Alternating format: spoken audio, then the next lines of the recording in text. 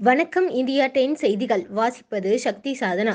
வேதாரண்யம் நகர பகுதியில் உள்ள முன்கள பணியாளர்களுக்கு கொரோனா நிவாரணப் பொருட்களை ஓஎஸ் மணியன் எம்எல்ஏ வழங்கினார். நாகை மாவட்டம் வேதாரண்யம் நகரம் அம்பேத்கர் காலனிகள் அமைந்துள்ள உழைப்பாளர் குடியிருப்பு வளாகத்தில் உள்ள நூற்றி இருபத்தி நான்கு தூய்மை பணியாளர்களுக்கு கொரோனா நிவாரணமாக புடவை காய்கறி மற்றும் மளிகை பொருட்களை வேதாரண்யம் சட்டமன்ற உறுப்பினர் ஓஎஸ் மணியன் வழங்கினார். இந்த நிகழ்ச்சியில் ஒன்றிய செயலாளர்கள் சுப்பையன் கிரிதரன் மாவட்ட ஊராட்சி கவுன்சிலர் திலீபன் ஊராட்சி ஒன்றிய குழு தலைவர் கமலா அன்பழகன் துணைத் தலைவர் அறிவழகன் வேதாரண்யம் நகர கழக செயலாளர் நமச்சிவாயம் மற்றும் அதிமுகவினர் கலந்து கொண்டனர்.